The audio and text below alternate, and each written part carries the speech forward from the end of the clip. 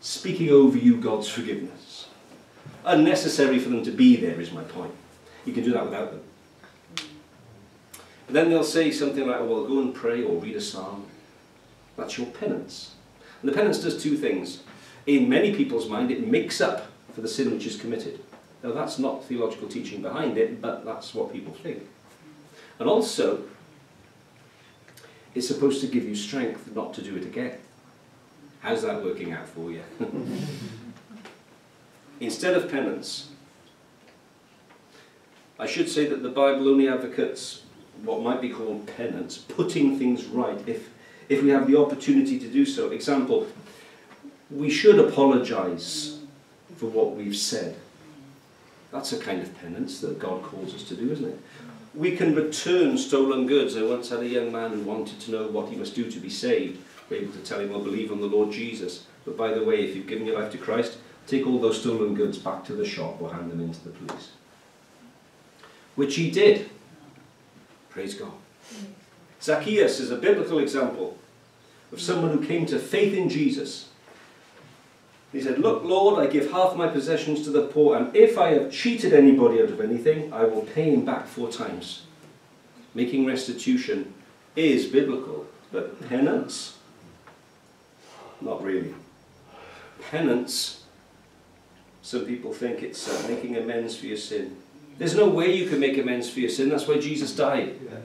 You have to accept his forgiveness and it sets your life and heart and conscience free that you might live a new life. There's nothing you or I can do to undo the sins we've committed. Thank God there's something he has done.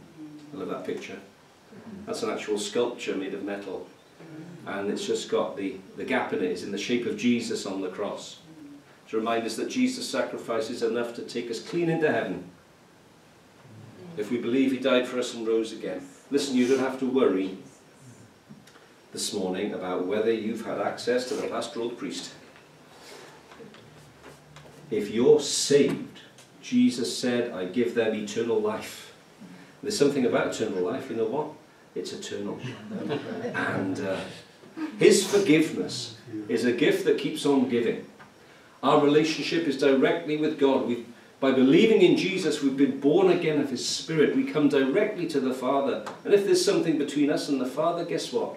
We can sort it out with Him directly through His beloved Son. Two verses to finish off this morning. I've gone a bit.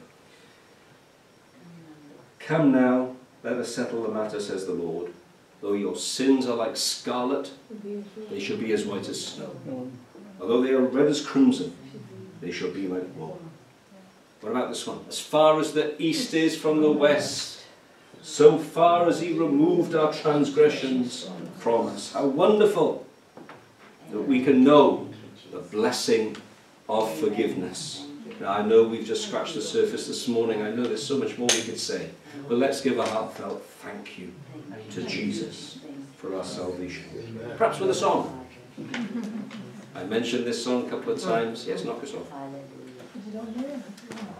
I'm accepted